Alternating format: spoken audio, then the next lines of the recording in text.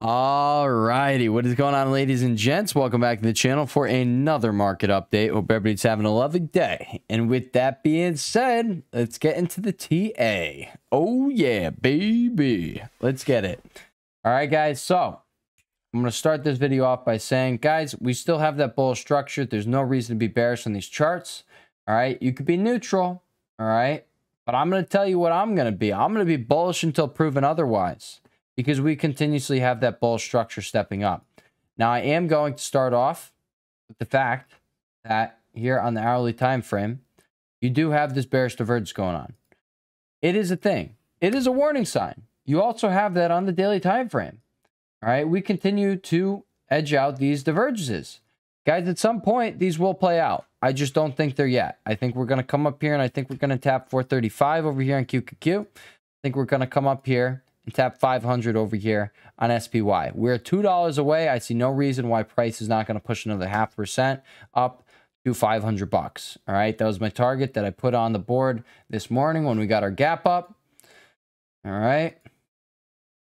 Just come over here. What are we talking about this morning? Gap up into resistance this morning and price opens up underneath the supply zones. Expect sellers to step in there for a pullback. The fact that SPY and QQ got up there tells us to be bullish on the pullback. Things can change to bearish, but this is why I've been saying that the charts are suggesting bullish price action. So until proven otherwise, be bullish. I do think SPY will break out to new high, and then we realistically could see the $500 psych level. QQ would be breaking out of a $5 range on this breakout. Could take it up another $5 to 435 We'll be watching for divergences to form. Should have, uh, or for a divergence to form. We look to be getting a fresh breakout today, so we should be bullish until those divergences start popping up. IWM looks great. It backtested that falling wedge and now has room up to 195.74. Speaking of IWM, let's talk about the little beast going on over there. All right, guys, so you literally broke out. You back tested. You got two of them going on here. And I'm just saying you are continuously making these higher highs over here. You also do have this uptrend to be paying attention to. So that is something I'm seeing here on the hourly time frame. Between this touch point, this touch point, and this one all the way down there. And then you hit control and you drag. And what do we have? We have a uh, ascending channel slash bear flag. All right, so that is something to be noted. All right. I'm just putting it out there. But as of right now, you're still making those higher highs and higher lows. But you kind of have an equivalent highs up here with higher uh, higher lows. So things are getting tight up there. Um, but I'm just going to say overall, this is a bullish chart. You literally found buyers sitting at the point set, literally right at the 0.786 fib. That is the line in the sand. All right. And at the same time, you bounced up and you had this bullish falling wedge. You then broke out, you retested it, you find buyers again at this demand zone here. You flipped it back to being demand. And then, uh, yeah, guys, I'm just saying this chart looks bullish. I don't know what you want me to say. On the daily time frame, you literally got a hammer candlestick today. It doesn't look bad. You come over here to SPY because you got a big fat green gap up here. I understand there is a gap left open below, but it does not have to fill immediately. And I would caution against just going blindly in here and just shorting. I would heavily caution against that, all right? I'm actually going to talk about it right now. Video. I would heavily, blindly, I would heavily uh, suggest, I would, I'm a heavy advocate for nobody jumping in front of this train, all right? I've been saying it for a very long time now. I literally said you should not hmm, I said I think it was a very terrible idea on this exact hammer candlestick to be shorting the beast. Why? Because you were at support putting in a hammer candlestick and I thought you were going to get squoze. You end up getting really squoze and you never came back down. And I'm just going to point out, I don't think it's coming down for a long time. I don't know how high this thing's going. I have absolutely no idea. There is an $800 price target that got put on the board the other day that caused this breakout. Um, I think it was $800, $850 bucks. Guess what? I'm not saying it's going up to 800, but I don't think it's pulling back anytime soon. We can get a massive pullback here, a $200 pullback, and the dip shall be bought, and we're probably seeing a new high. We're probably not seeing a $200 pullback, guys. It's been like a very long time now. It's been two thirds of a year, and the most downside you've seen is this move right here. That is a $90 move down. We did not see anything past 90 bucks, guys. All of these other pullbacks are less than that $90 move down. And it came back like this is a perfect setup. Do I wish I took the Actually, I think I did take the setup back in the day. All right. Do I wish I just, you know, continued riding this bad boy up? Yeah, I definitely do. All right. Um, yeah, I'm just putting it out there, guys. Don't short the freaking beast. Let's talk about this. These are my three scenarios. And you can see these derived. These levels are coming from the hourly time frame right there. All right. Really, these are the three scenarios. And they're all bullish. Why? Because I'm bullish. We are bullish until proven otherwise. The price action is not telling us to be neutral or bearish. It's telling us to be bullish. That is that. That is why I'm not neutral. I am bullish. Guess what? You can pull back all the way down here and it would be a $60 move, almost a 10% move down, and it still will just backtest the previous high here. I don't think there's anything bearish about this. All right, even if you get that $90 move down, which I'm just saying, it's a, this candlestick is suggesting we go higher tomorrow. Let's say you do go higher. All right, but let's actually say right here, okay? Because even if you get that $90 pullback, the biggest pullback you got in the past two thirds of a year, which keep in mind, it's actually the biggest pullback you've gotten in uh, yeah, 482 days. That's a year and a half. NVIDIA has not pulled back more than it did right over here. So, assuming that it's not going to have a massive pullback that it hasn't seen before, like in the last year and a half, we're going to assume that this zone right here will hold. What zone do we speak of? We're talking like right here, okay? In between here and here. No, this is not a demand zone. This is just where I'm saying I do think if price were to test down here, this is your bear case scenario. You get down here. Then guess what? You buy the crap out of that thing. I'm not telling anyone to do that. I'm going to say I'm probably going to take my shot. Well, not probably. I will take my shot right here if I see it. Because, um, yeah, you guys can see what I'm saying. I think I'm making it very clear what I'm saying. Okay. Now, let's finish talking over here on the indices. I'm going to come over here to SPY. I'm going to point out here 15 minute time frame. Break and retest right there. You had this flag. You broke out from the flag. Now you're breaking and retesting off of where you're finding sellers before. All right, guys, you do have the bearish divergence going on here on the 15 minute time frame. That is definitely a thing. All right, that is your first warning sign popping up. All right, as of right here, this push above this high, it was created with the divergence. That is not a good look. That does mean we have to be cautious now. The last one that formed literally put in a major top.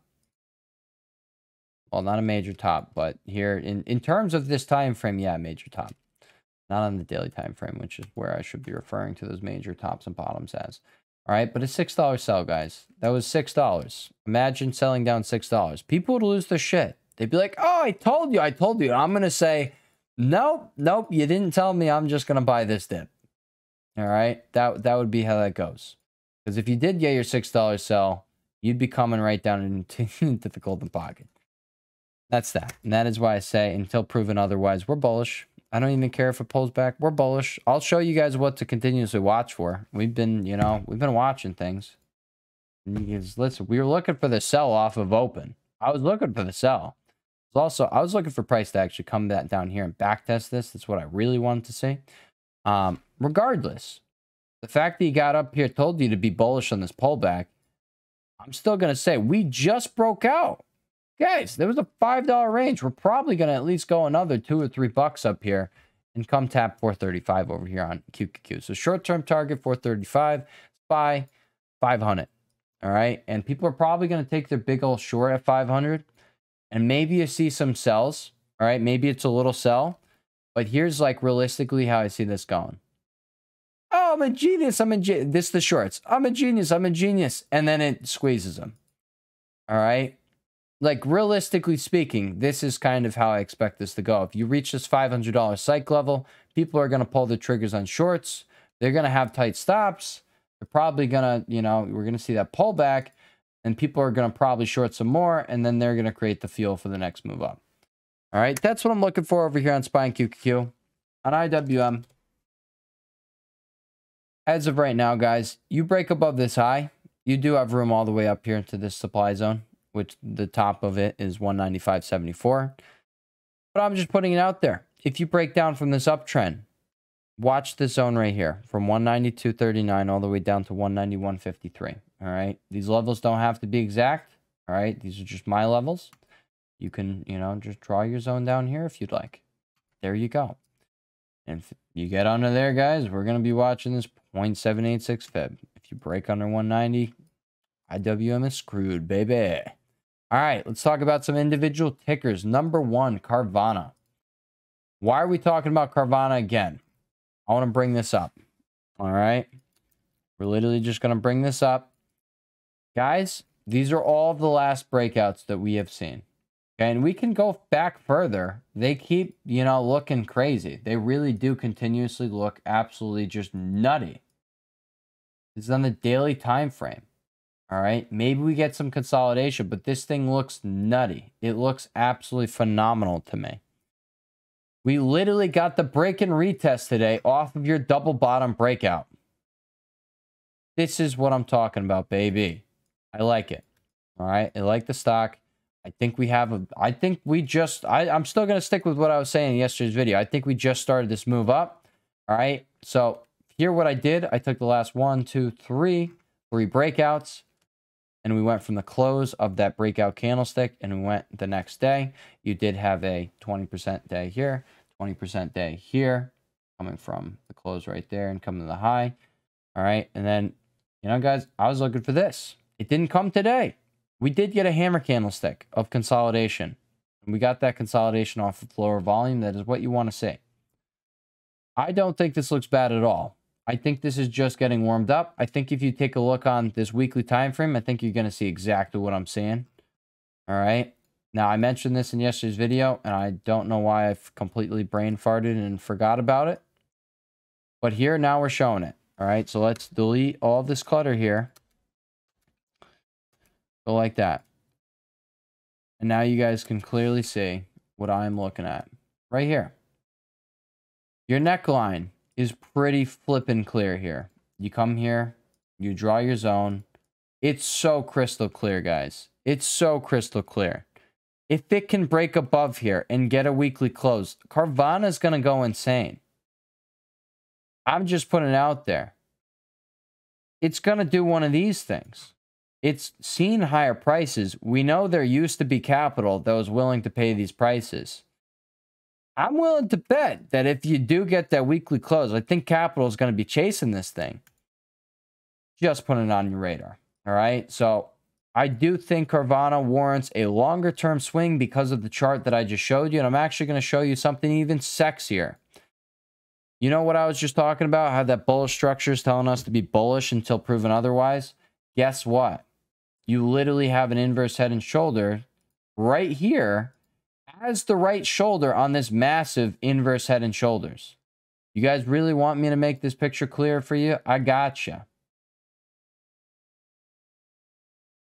There you go. There's your head. That's a shoulder. That's a shoulder. Left shoulder. Head. Right shoulder. Oh, you want some more? You want me to make it even more clear? I got you. I got you. Don't you don't you worry, guys. I always got you. Boom. What do we got going on here? We have an absolute sexy weekly chart, monthly chart, daily chart. And I think this close above this downtrend right here, I think that was your swing signal. All right. For that longer term swing that I do believe this chart is warranting. Just putting it on your radar. Okay. I'm looking for 50 to 53 bucks in the upcoming trading sessions. And yeah, that's that. Next one is ARKK. You did get your breakout today. You were coming in for the retest. That is something I would like to take note of. Not going to say I like the fact that you had declining volume today, but I like that you literally closed on the retest level or like, you know, on the on the uh, downtrend you just broke. I really like that. I don't like this volume. Now, that also brings me over to the next setup I want to talk about, which is you. All right, guys, you over here just broke out. You had a false breakout over here. All right, and where are we getting this trend line here? Touch point, touch point, touch point, touch point, touch point, touch point, touch point. Got very freaking tight, guys. Golden pocket is sitting right underneath. We don't even need to look at it. The point of the matter is, the fact of the matter is, you are breaking retesting where you broke out from all those months ago. We're talking two to three months ago, three months ago. You broke out from right over here. Well, actually, that was two months ago. Yeah. Two months ago, you broke out from this consolidation over here. You did have this inverse head and shoulders going on. This was your neckline. You're back testing that. You're literally doing that right now as we speak. You came down to in a slow and controlled manner, which suggests we don't have aggressive selling going on. We don't panic selling going on. This is controlled selling. They're looking like they want to bring this up to the next leg. I'm just letting y'all know. Okay? Put it on your radar. You just got the breakout. It's fresh. What I don't like about the setup is that you had declining volume on this breakout candlestick and it turned into a doji of indecision. It's not what we wanted to see, baby. It's not what we wanted to see. But I did want to see the breakout. All right. We're looking for that follow through. I'm looking for a break above this high right here at 33.43. If it can, I think it could get moving and grooving up into these TP levels right there. All right. But I am just going to tell you the thing isn't showing that it's like strong right now. All right. I'm just putting it on your radar because we got the breakout. You don't have volume. We don't, I want to see positions get taken. That's really what I want to see. All right. Um, it doesn't need to be the case, but you can see, guess what? Big green candlestick, big volume. Breakout candlestick, small volume. I don't like it. All right. I would like to see positions being taken. I would like to see volume flow into the stock. A perfect example of this is Carvana. You had amazing volume yesterday. We haven't had volume like this, okay, since actually the high over here, right? But uh, I am going to say this is the highest volume since you come all the way back over here when we had a lot of shares uh, changing hands here. This is where people really wanted Carvana. We're starting to see volume tick back up. What if this day is just like this day right here?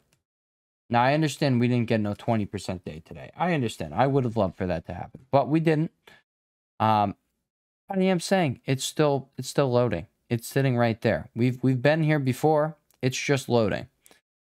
Next one we're going to discuss AMD. I want to point out you are literally just consolidating above the previous highs. Definitely something to keep your eye on, considering you have what is the ticker? What is the ticker? ARM. ARM has a 30% gap up in the after hours. The thing went insane. Premiums reduced. So, you know, it's not like insane money was to be made here, but you guys could see what I'm getting at. All right. We have a chip stock. We have other chip stocks. This chip stock has been doing nothing as these chip stocks have pushing, have been pushing to new highs. I think AMD is consolidating before it pushes up to new highs. There you have it. TLDR, all right, guys, all short-term targets hit. I'm looking for consolidation above 2312. What is the significance of 2312? All right. Well, not 2312 specifically, but 23 bucks. All right. I didn't mean to say 12. Um, we're just going to make that a $23 psych level. Uh, oh, no, we're not. We're going to make it 2310. We'll just keep it like right, yeah, right there. All right, you guys can see what I'm seeing. It was from right there. You broke down from it. You broke and retested that level, and then you died from there. All right, so very important spot we're at here, and I just want to say congratulations for whoever stayed strong with this setup. Congratulations, all your patience was worth it. This is exactly why we've been talking about Palantir. This whole time it was in consolidation, all right? Now, granted, we did talk about it before it had these big moves. I understand some of these had some time, like it took time. All right. Like right here, it took some time. Right here, it didn't take time. You ended up seeing a decent move right there. Right. But then you had this. And this is where the huge congratulations comes in. Your contracts definitely went in the money if you were playing them down here. I hope, listen, guys, if you're buying contracts right here and you're buying them this far out the money, please do not be doing that you have no reason to. Your contract should definitely be going into the money. All right. So, congratulations. But this is the larger picture I'm seeing. And by the way, anybody who was telling me I was getting too emotional with PLTR, just know I see things with my eyes and I do things. And I will let you guys know about those things. But please don't tell me I'm sitting there getting emotional. No, if I see a move loading and I'm trying to catch a move, please just let me, you know, try and catch the move. That is that. It was being caught with profits. And that is that. So guess what? In the end, who was the emotional one? The one who sold their positions before the big move? Or the one who caught the big move? I don't know. All right, but congrats if you caught the big move. I'm looking at this massive cup and handle. I want consolidation in between 27 and 23 over the coming weeks, and that will prepare for the next move. All right, that's what we're watching there. Baba coming down into the golden pocket. You were finding buyers there to start off the day. Let's take it off extended hours. All right, you were finding buyers down here in the golden pocket start off the day. Now you're just consolidating. I don't know where it goes from here. All right, you did have a miss on earnings. Well, it wasn't a miss on earnings, but you well, it was a miss on earnings actually, if I'm remembering correctly. But there was bad news in that earnings, so there was that. Um, yes, so that you can see that killed the short-term momentum. You did come back within the channel. I did tell you I was bullish on this pullback.